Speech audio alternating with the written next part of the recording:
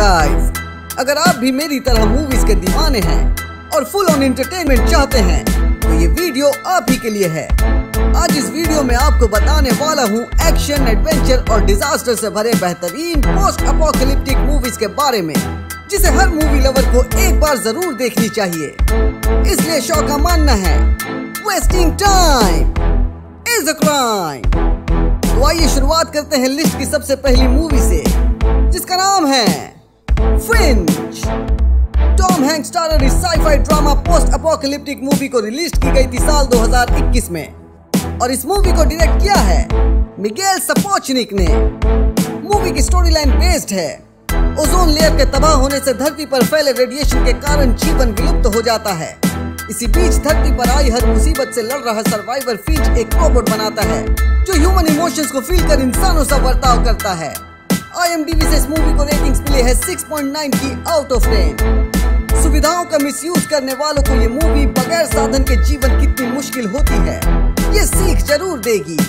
साथ ही इस मूवी के अंतिम पल में आपकी आँखें भी नम होंगी। लिस्ट में दूसरे नंबर पर है ब्रेन ऑफ़ फायर साल 2002 में रिलीज़ हुई ये एक post apocalyptic science fantasy movie है।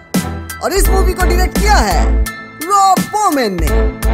स्टार कास्ट में शामिल है Christian Bale Izabella Scorupco Matthew McConaughey है एंड जेरार्ड बटलर मूवी की स्टोरी लाइन बेस्ड है। अंडरग्राउंड टनल में चल रहे काम के दौरान बरसों पहले सोया एक ड्रैगन जाग जाता है और धीरे धीरे दुनिया पर अपना कहर बरसाकर पूरी धरती को खाक कर देता है।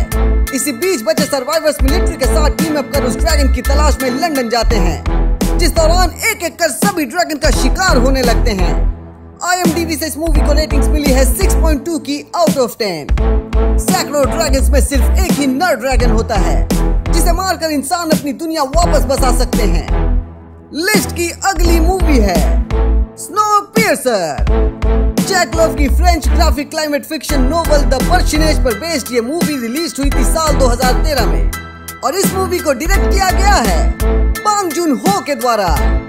स्टार कास्ट में शामिल है Chris Evans John Hurt and Song Kang Ho movie की स्टोरी लाइन बेस्ड है। ग्लोबल वार्मिंग को कंट्रोल करने के दौरान पूरी दुनिया ही आइस एज में तब्दील हो जाती है और इंसानी नस्ल पर कहर टूट पड़ता है। तभी बचे हुए लोग खुद को महफूज रखने के लिए एक ट्रेन में शरण लेते हैं, जो बिना रुके निरंतर पूरी पृथ्वी का चक्कर काटती है। IMDb से इस मूवी को रेटिंग्स मिली है 7.1 की आउट ऑफ़ 10 बाकी कई मूवीज़ की तरह ये भी एक शानदार कोरियन मूवी है। आगे बढ़ने से पहले एक छोटी सी रिक्वेस्ट है। अगर आप इस लिस्ट को एंजॉय कर रहे हैं तो एक लाइक करके मुझे यस का सिग्नल ज़रूर दीजिएगा। Now moving on to the next movie Waterworld ये पोस्ट अपोकलिप्टिक एक्शन मूवी आई थी साल उन्नीस सौ पंचानवे में, और ये मूवी बनी है केविन रेनॉल्ड्स के डायरेक्शन में। स्टार कास्ट में शामिल है Kevin Costner Jeanne Tripplehorn and Dennis Hopper movie की स्टोरी लाइन बेस्ड है। समुद्र की ऊंचाई 26,900 फीट बढ़ने से धरती विलुप्त हो जाती है और लोग समुद्र के ऊपर ही तैरते हुए बस्ती बनाकर रहने लगते हैं। तभी मेरिनर को हेलेन और एक बच्ची इनोला मिलती है जिसके पीठ पर बने टैटू को स्मोकर्स का लीडर डेकन सू की ज़मीन का नक्शा मानकर उन पे अपने लोगों द्वारा हमले करवाता है ताकि उस नक्शे के सहारे डेकन सू की ज़मीन तक पहुँच पाए।